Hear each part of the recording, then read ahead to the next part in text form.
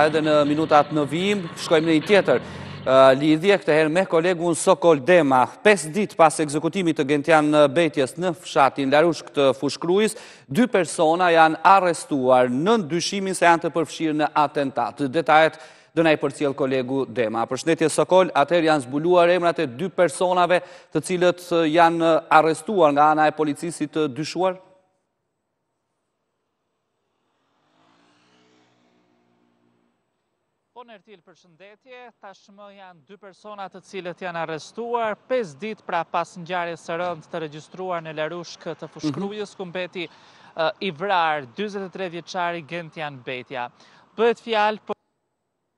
cilët më herët janë të regjistruar me precedent pra të mëparshëm penal dhe janë Ilir Beqira i cili mbante edhe mbiemrat Brahimi dhe Mançellari, ndërsa personi i dytë i arrestuar është Edison Haxhiu.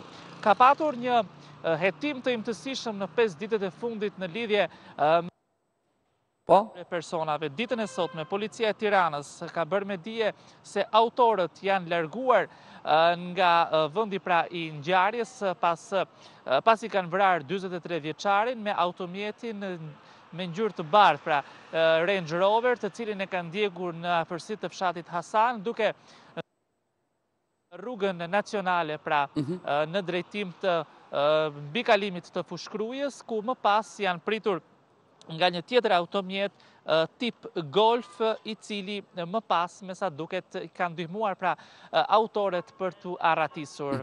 Dy personat të cilët janë arrestuar Sokol, janë le të themi të zonës, janë nga zona e e Fushkrujës dhe a janë të skeduar më parë nga ana e uniformave blu? Për sa i përket Haxhiut, është nga zona e Milotit, pra mhm. Milotit dhe Kurbinit, ndërsa është i akuzuar në rastin konkret për sigurim të kushteve dhe mjeteve materiale për të kryer vrasjen. Nga ana tjetër, personi tjetër pra që është i arrestuar në flagrancë nga ana e policisë me tre mbiemra dhe që ka edhe mbiemrin Brahimi, është po ashtu nga Kurbini, pra personi shohet se i përkasin një grupi kriminal me aktivitet në mhm. zonën e Fushkrujës pra dhe rreth e rrotull, por që sigurisht dyshimet e hetuesve janë edhe për persona të tjerë të përfshirë. Pra, kjo ngjarje deri diku konsiderohet si e zbardhur, por jo e përmbyllur përfundimisht, pasi nuk përjashtohet mundësia që në të ketë arrestim edhe të personave të tjerë, të cilët kanë pra lidhje dhe gisht të drejtpërdrejtë, edhe sidomos persona të cilët janë apo kanë qenë në rolin e porositësve pra të kësaj ngjarjeje të rëndë. Sigurisht, pritet me interes të lartë edhe marrja në pyetje pra e dy personave të arrestuar dhe që në vijim grupi hetimor pra i posaçëm i ngritur në drejtorinë vendore të policisë së Tiranës për ngjarjen e rëndë. Cilat ishin, le të themi, Sokol detajet apo gjurmët që bëri që policia të arrestonte dy personat në fjalë? Me sa duket kanë patur disa pamje kamerash sigurie të cilat kanë mhm. mundur pra të gjurmojnë drejtimin e automjetit tip golf pra që ka ndihmuar autorët për t'u larguar nga vendngjarja. Por edhe informacione të tjera policore të cilat sigurisht kanë qenë pra në filtër personat në fjalë. para kur ngjarja ka ndodhur, duke patur parasysh se ata i përkasin pra një grupi kriminal të zonës, të cilat në fakt edhe burime pranë policisë hezitojnë të japin detaje në mënyrë konkrete, duke patur parasysh se ngjarja nuk është e zbardhur në mënyrë totale dhe është ajo që theksuan pak më herët me pretendimin për të kapur edhe persona të tjerë. Dyshimet e tyre në një farë forme u konkretizuan edhe me marrjen e informacioneve nga kamerat e sigurisë dhe informacione të tjera të cilat kanë ardhur në rrugë informative dhe të inteligjencës policore për identifikimin e këtyre personave që sot tashmë janë në pranga të policisë. Mhm. Ndërkohë janë kryer kontrolle në banesat e dy të arrestuarve dhe nëse po, çfarë ka gjetur policia në banesat e tyre gjatë kontrolleve? Sigurisht, policia ka kryer kontrolle të imtësishme, kanë mhm. qenë forcat speciale të cilat kanë gjetur pra materiale të cilat dyshohet se por që u përkasin pra personave në fjalë. Bëhet me dije nga ana e policisë se është sekuestruar një armë zjarri pistoletë me mbishkrimin Valter dhe me tetë fishekë pra në brendësi.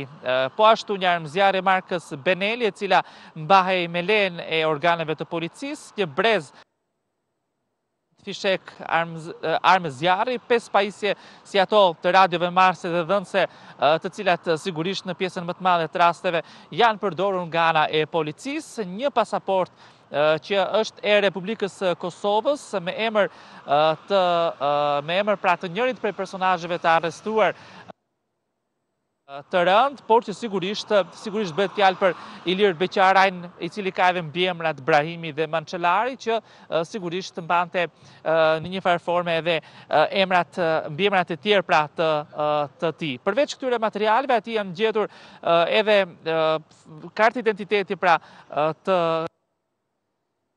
ku në fotografitë e tyre dyshohet dhe mendohet se është pra i njëjti person i cili tashmë është në pranga të policisë. Pa diskutim që të gjitha materialet të cilat janë tashmë në dorë të policisë janë dërguar pranë laboratorit të policisë shkencore këtu në kryeqytet në zonën e Saukut aty ku do t'i nënshtrohen një ekzaminimi të plot për të kuptu. shirjen e tyre në ngjarjen kriminale pra të 5 ditëve më parë në zonën e Larushkut, por pse jo për të kuptuar nëse kanë qenë të përdorura edhe në ngjarje të tjera kriminale të regjistruara në vitet e fundit rreth e përqark zonës së Fushë-Krujës dhe jo vetëm. Cilat janë le të themi dyshimet e policisë që mund të ketë qenë një ekzekutim me pagesë apo dy të arrestuarit kanë pasur njohje më herët edhe me viktimën? Nuk përjashtohet mundësia që rasti pra i atentatit të 5 ditëve më parë të jetë kryer nga atentatorë me pagesë. Sigurisht që është pistë që vijon të jetë akoma e ngritur nga ana e hetuesve të policisë.